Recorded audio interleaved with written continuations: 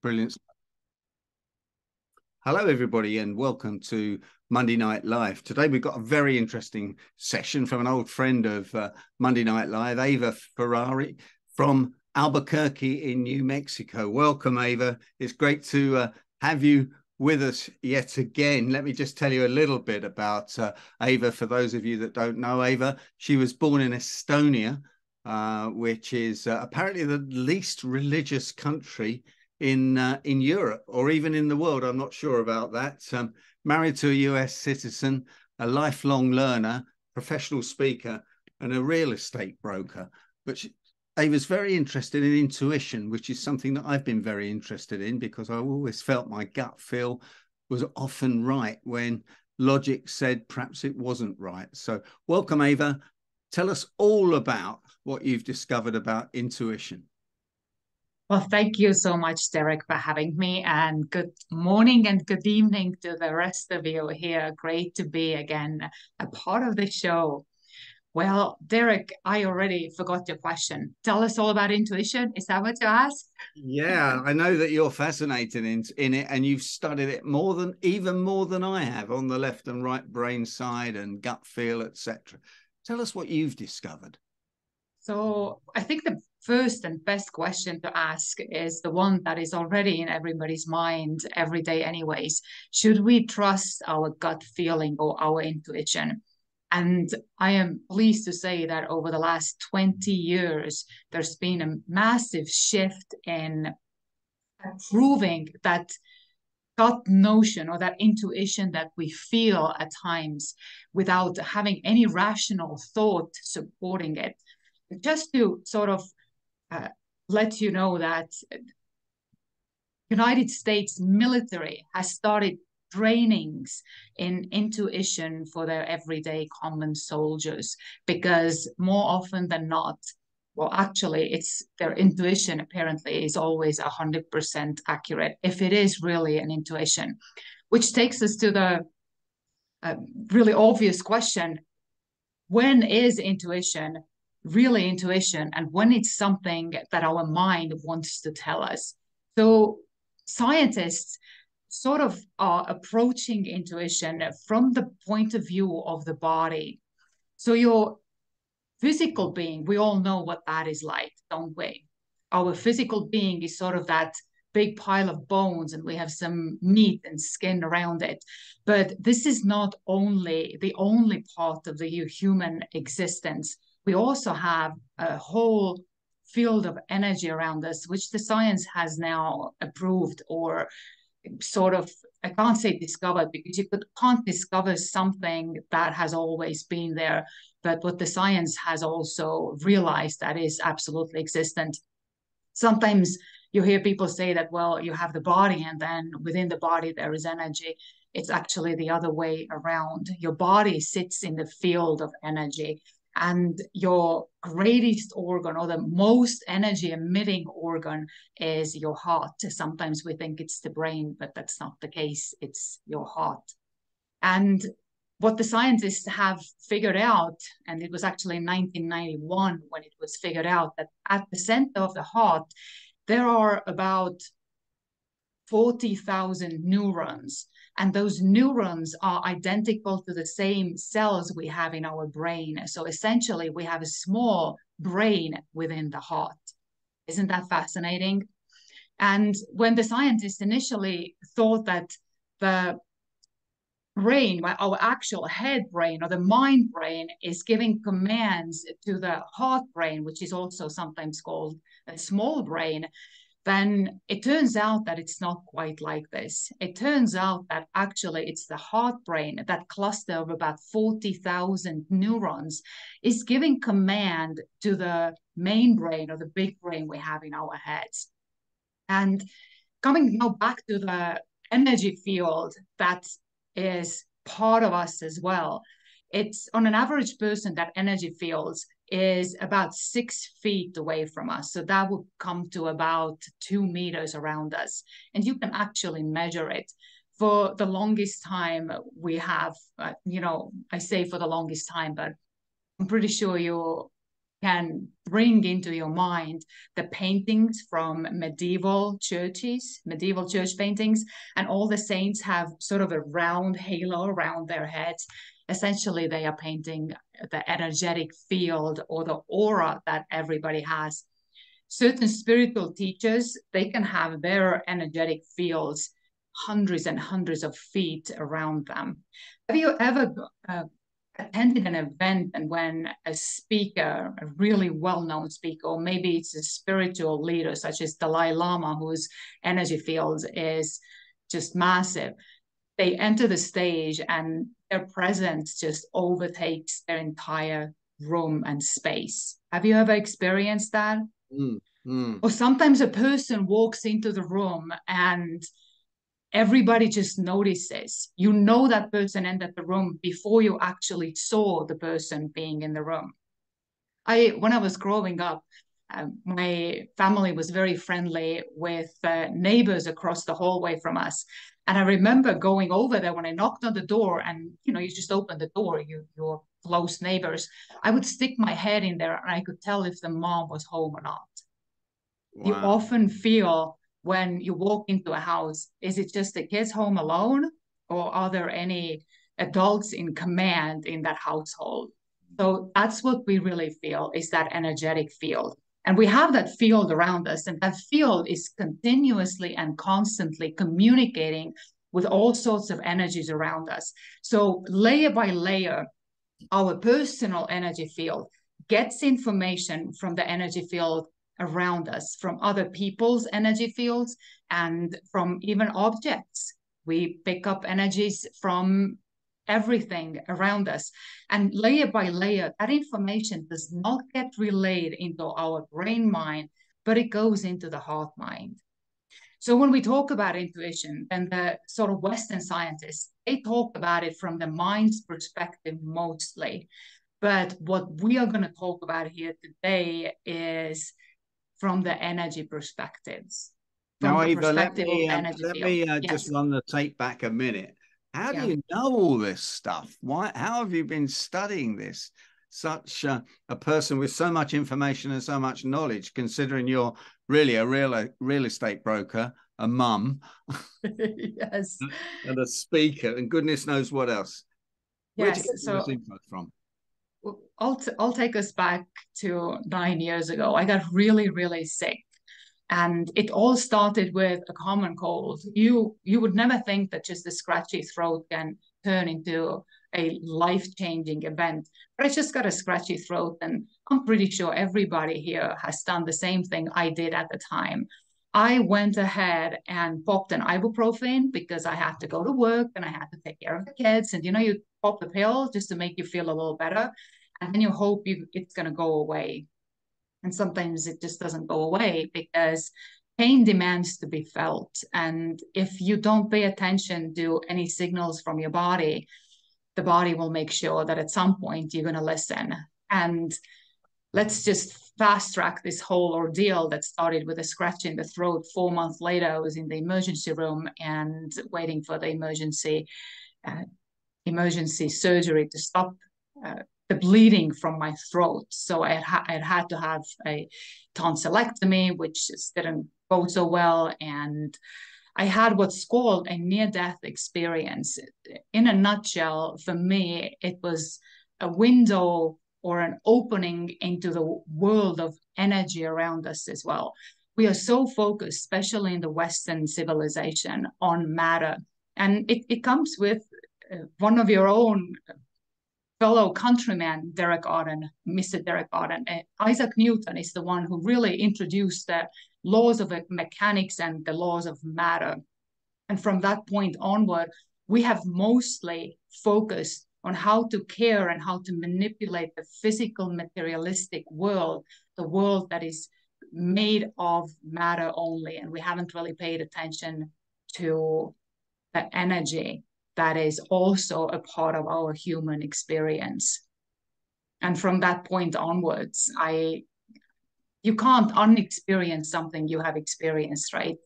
We often talk in science about the somatic experiences people have. Are they real? Can we take these into considerations? Are they just um, hoaxes or parts of our imagination. And we like to give our minds more credit than they actually than the mind actually deserves. The whole realm of what makes up a human being, and it's not just the body and the mind. Did I answer your question, Derek? You yeah, you did. Right. Let's keep let's let's keep going into the into this fascinating world of uh, mind, body, gut feel, etc. Yes. So let's come back to the intuition, and it's interesting with the intuition. There, there, there are a couple of steps the way the intuition comes to our body and how we interpret it. So the first step is that we we experience an inflow of energy, and that energy enters the heart space the step two is that heart space is being now translated into the mind. It's being transferred, that energy is being transferred from the heart space into the mind space. And step number three is the mind now interprets what just happened. And that's often what we experience as intuition uh, on everyday basis here's and that process from the moment we receive energetic information into the heart space until we start interpreting it interpreting it in our mind it takes from a fraction of a second to about eight seconds as long as that you, say wow. again as long as that i thought it, it might... can take up to eight no. seconds for that information be translated and it depends on now on an individual how you experience the first step, because the key here is to sort of catch yourself on that first step when the intuitive information is being uh, sort of um, transferred into the heart space or the heart brain or the little brain that is at the center of your heart. Because here's the thing humans, we humans, we have what's called an ego and our egoic mind, our egoic presence would love to intercept that whole process, how the information is being uploaded from the heart space to the mind space, and sort of get their fingers into the pot as well. So, how can you actually recognize when it is your ego who is interpreting the information, who's trying to get you to think a certain way, as opposed to when it's an actual piece of information that is coming from the intuitive field, from the energetic field around you. This is the greatest and toughest task for you to know when you can actually trust the information that you take as intuition, or sometimes also called your gut feeling. You just know, it's just like you have this knowing, right? Yeah. So let's talk about this one. Uh, from step point onward because the medical field is looking at it mostly from the step two when our interpretation already starts taking place in our minds. So, first off, your intuition is always emotionally neutral. It never adds an emotional charge into it. And uh, emotionally neutral emotions are attached to the physical realm, to the matter we have to have a thought and then we have an emotion that is attached to it. And before we formulate the thought, that's when the ego likes to come in and hijack the process and attach a judgment to it. So I'll give an example. Have you ever had an experience when you meet a person and you hear this thought in your head, well, that person's not a good person? Have you ever had that? so yeah. yes. So most likely you got as an um, point of intuition. You experienced this, and Funny. it was uploaded. That information went up to your brain space, and now the mind started formulating words and thoughts around it because the energy field does not function with words. So if you already formulate the specific thought around it and that thought is emotionally charged, something has happened here. So your intuition does not come in with judgment. Most likely, what you felt was that that person's not for me. Or even better, what came in was step away.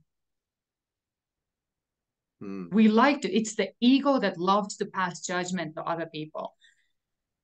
for example, have you ever met somebody who you consider not a nice person?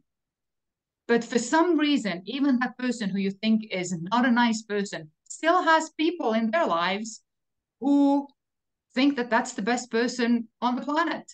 Mm. Or think about some polit- political leaders that you don't like. There are people who still vote for them. There are people who propagate for, or you know speak for them and promote them and push them, right? Yeah. So that there is bad and good in every person. It is not your intuition's way to judge what that person is. That your intuition will only step in to let you know that you need to step away from that person. You don't have any vibrational balance or equilibrium with that person. So does this so you, yeah. does this work um, on television when we're looking at political people? Does it work on Zoom when we're we're here, or do we have to be in the real world to get this feeling? It's always, of course, the best if it's the real way or if you're face to face with these people. It's the easiest. But yes, it works on television screens, it works on Zoom as well because energy does not have the, me- the mechanical boundaries like the matter does. Energy does not have that. That's why energy healing is possible, even though the healer is across the globe. Mm.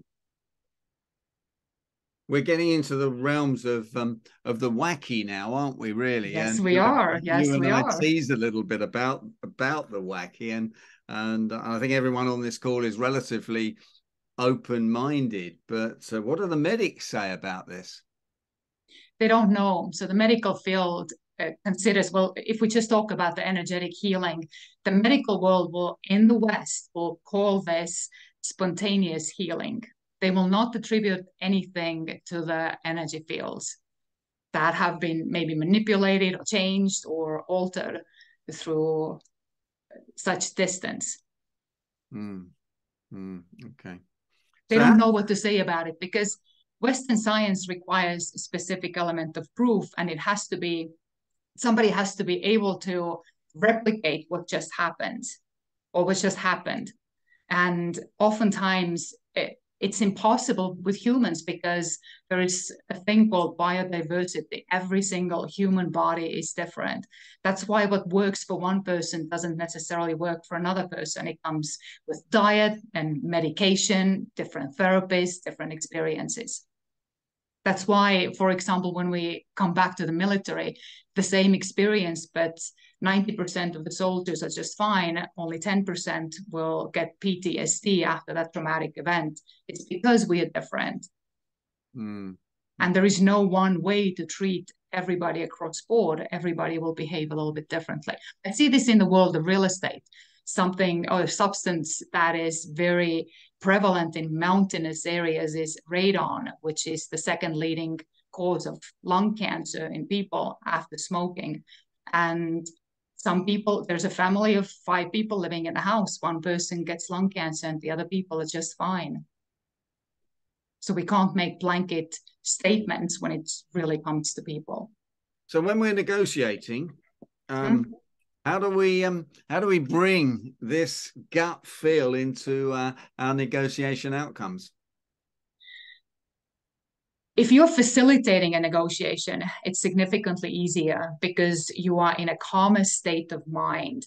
But if you're a party to a negotiation, you need a, a lot of practice. You have to practice, practice, practice, getting in touch with your heart space. And you have to know the difference between when your ego is hijacking the process from when it's actually your intuition, when you actually had a stroke of intuition and you are following that energetic guidance so the way it's I would not... explain mm-hmm. this, Ava, but this is going back thirty or forty years, is sort of left, left and right brain, and the left brain is when you're into that uh, zone of concentrating and ego, rational thinking, mm-hmm. egos involved, rational thinking. Whereas if your uh, if your right brain's engaged and you're relaxed and you're watching and you're observing, you're more yeah. in that sort of relaxed state. That seems to be what you're describing, even though left and right brain gets poo pooed these days, a lot of people still talk about it, and I think it's uh, very valuable. Yes, it is valuable. And, and the left brain controls the rational thought process. The rational thought process is the part of the brain that tries to put into words what the heart, heart brain is sending into the brain. Yes. They are both important. I don't think that any part of the human existence should be shunned or somehow frowned upon.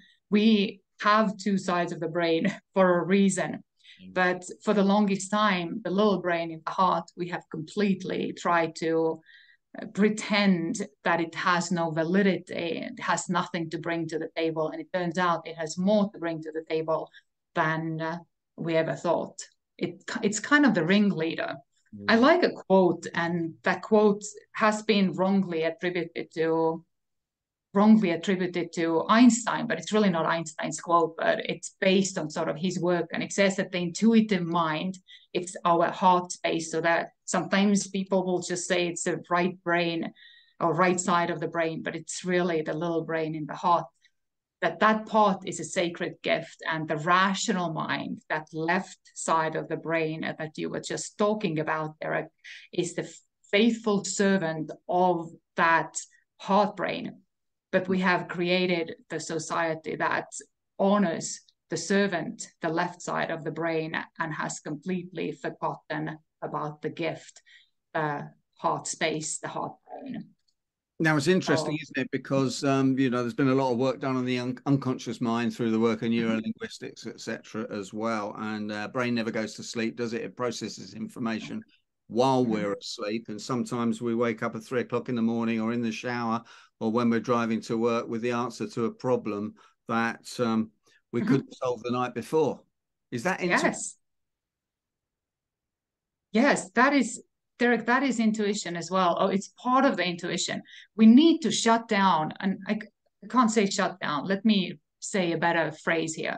We have to quiet and calm down the rational brain, the left side of the brain, to be able to hear what else is going on in there we just can't hear because to live in this high stress survival mode society that we have created in the Western world for the most part, we need our rational brain. It needs to constantly analyze just the the war or the, the massive wave of information that comes into the brain and we need to sort through this and make sense of it and survive in that space and it has to be loud and active. So, Derek, when you said that you pose yourself a question and then you get an answer by the morning, that's what it is. The rational brain actually got a break. You shut your eyes, our senses are not as um, heightened as they are throughout the day. We are not constantly focused on the external world. We actually have the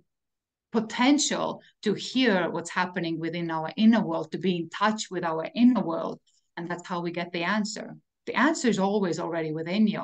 The challenge is we just can't hear it. We can't make sense of the noise that is constantly within us. That's why meditation is always so powerful derek. Mm. it is so powerful because it allows us to actually hear the voice of our intuition our inner voice. Very interesting that ava. It's also interesting the word intuition is spelled i-n tuition mm-hmm. t-u-i-t-i-o-n almost as if whoever uh, invented the word knew that inside us we had this uh, tuition um, and i was just thinking when you were saying that you know anyone that's ever lost their keys or can't find their keys the more we rush around looking for our keys um, yeah.